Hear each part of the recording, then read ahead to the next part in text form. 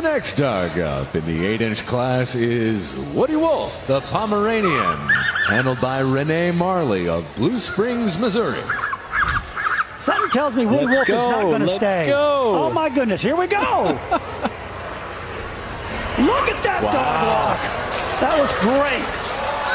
Woo! Woody Wolf is cooking right now. Awesome. Get that turn, get the turn, get the turn, get the turn. Into that tunnel. You can hear the crowd. They're definitely behind Woody Wolf right now. Lots of speed. Get that cross in there. Get that cross. Well done. Now get to the end of that teeter. Get to the end of it. There it is. That's much better.